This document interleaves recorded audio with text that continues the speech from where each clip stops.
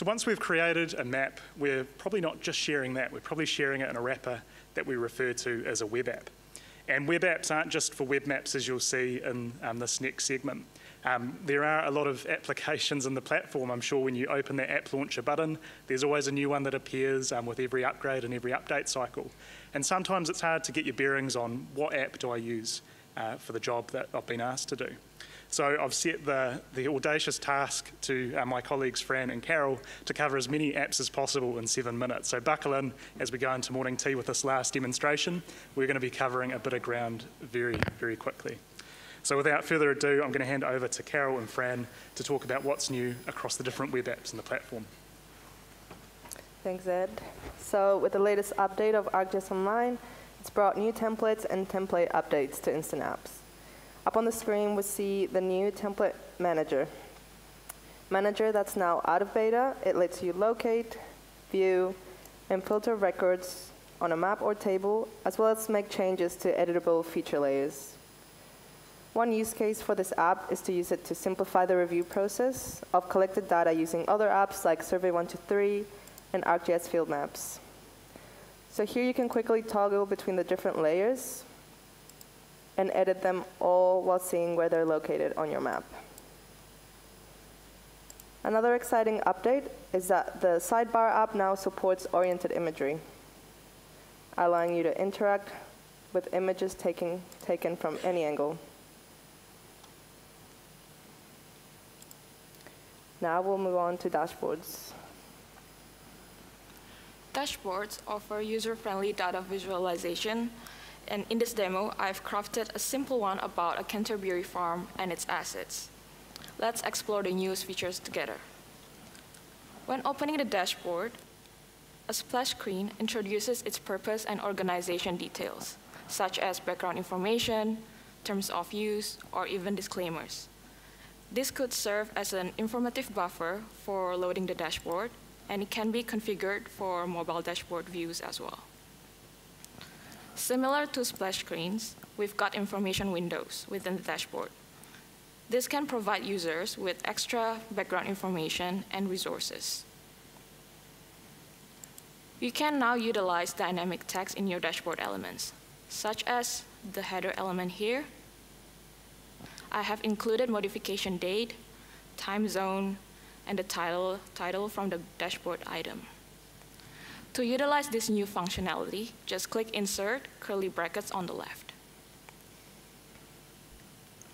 The latest release includes time zone support, which enables you to specify New Zealand time zone for date and time values appearing in the dashboard, regardless of the viewer's location.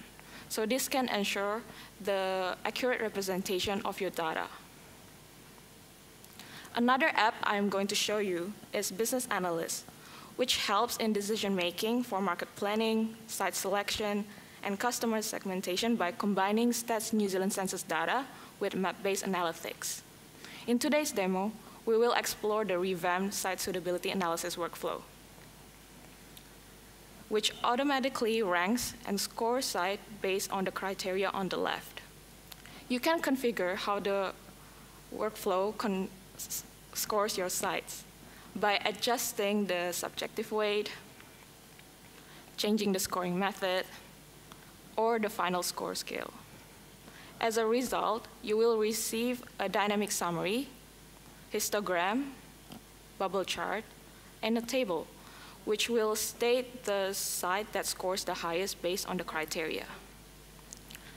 The latest update of Experience Builder includes enhancement on various widgets. Let's start with the Business Analyst widget, which specializes in creating and viewing infographics.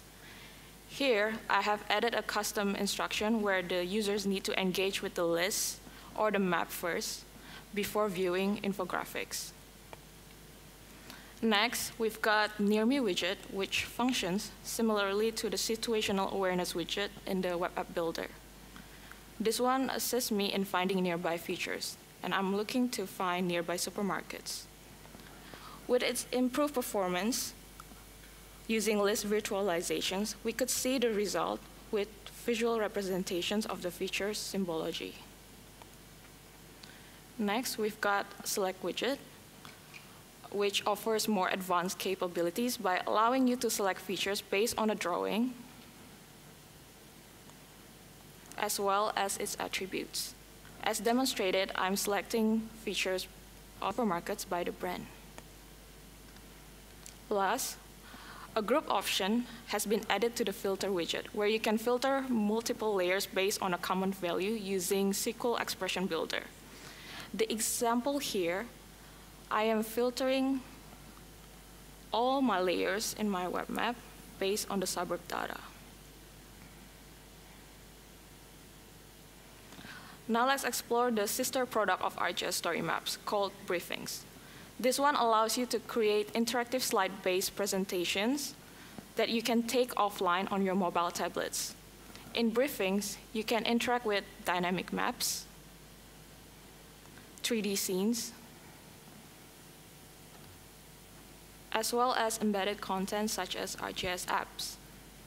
To interact with maps without an internet, internet connection, you will need to upload a mobile map package or scene package.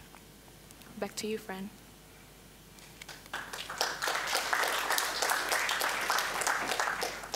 So as we've seen in earlier demonstrations, some challenges we can't tackle on our own. Collaboration is crucial, and ArcGIS Hub is the tool that brings it all together by creating a one-stop shop for content, team collaboration, and engagement. So let's create a hub together. First, let's give our hub a name, and I'll just call it My Initiative. We will leverage the ArcGIS capabilities to create a space for our, par for our partners working on this initiative. We've set up the team workspace by creating teams and adding people to those teams. Now we can add data for our contributors to access.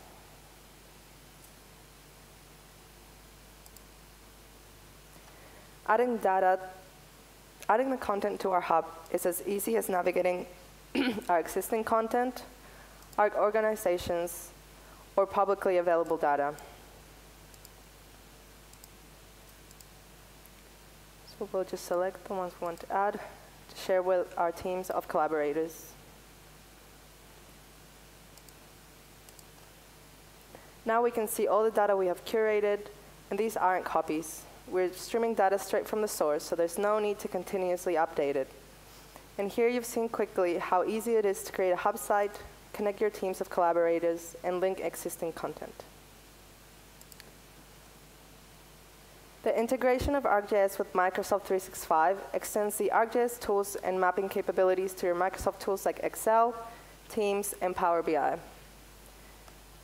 In the latest update, you can see the new icons in the ArcGIS tab, which is available once you've downloaded the ArcGIS add-in.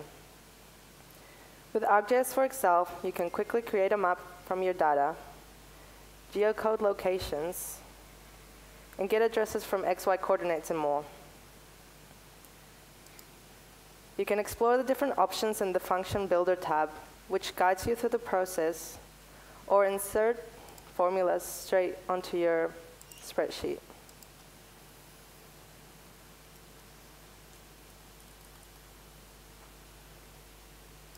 We'll just get the addresses from these XY coordinates.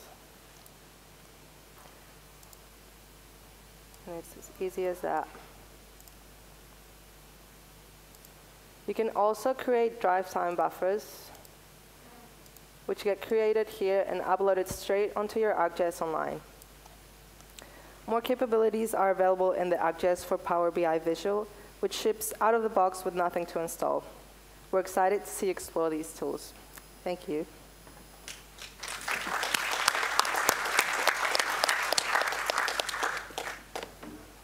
That's fantastic, Fred and Carol. Great job.